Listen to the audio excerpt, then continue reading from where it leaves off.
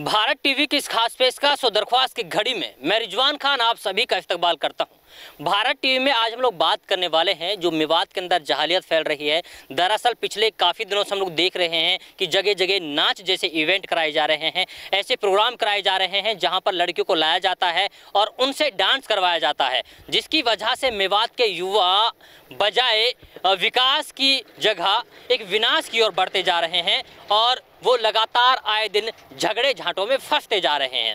अब सवाल ये है कि अगर मेवात के युवा इस तरीके से इन प्रोग्रामों में बढ़ चढ़ हिस्सा लेंगे और लड़ाई जैसी वारदातों को अंजाम देते रहेंगे तो फिर हम लोग कैसे कल्पना कर सकते हैं कि हमारा मेवात का युवा, मेवात का नौजवान सही राह की ओर जा रहा है, सही दिशा में जा रहा है? ऐसे में जितने भी हमारे समाज के जिम्मेदार नागरिक हैं, सोशल वर्कर्स हैं, जितने भी नेता हैं, मैं चाहता हूँ सारे लोग इस बात पर संज्ञान लें और कम से कम जो ये बदतमीजी और बददीनी लगातार बढ़ती जा रही है, जो जहालियत लगातार बढ़ती जा रही है, इस पर लगाम लगाई जाए। कई दिनों से मैं सोशल मीडिया पर भी देख रहा हूँ, बहुत सारे लोग जाते हैं फेसबुक पर जाकर लाइव हो जाते हैं। लाइव तो ऐसे होते हैं जैसे बहुत अच्छा कारनामा कर रहे हो, बहुत अच्छा काम कर रहे हो। उन्हें पता नहीं होता है कि जिस चीज़ में वो लाइव आ रहे हैं, वो अपने आप में मेवात में बदनामी है। बदनामी के साथ साथ कई जगह से ऐसी अपडेट मेरे पास आई, फ़ोन भी कई सारे मेरे पास आए कि भाई इस तरीके से इवेंट कराए जाते हैं, जहाँ से बाहर से लड़कियों को बुलाया जाता है और वो लड़कियाँ आकर यहाँ पर डांस करती हैं।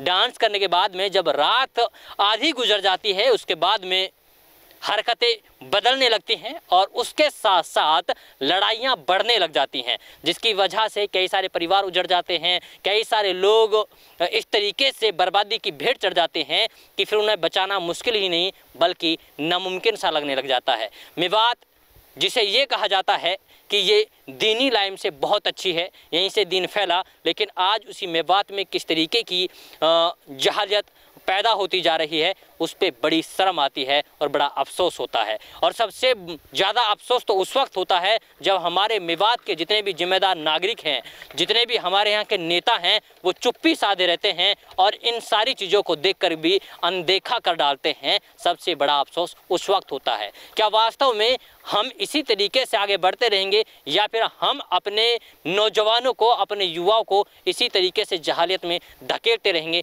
या नहीं? ये वक्त बताएगा और वक्त के लिए आपको थोड़ा इंतज़ार करना पड़ेगा। तब तक के लिए आप बने रहिए सिर्फ़ सिर्फ़ भारत टीवी के साथ। वीडियो जर्नलिस्ट सलीम के साथ मिर्जवान खान, भारत टीवी में बात।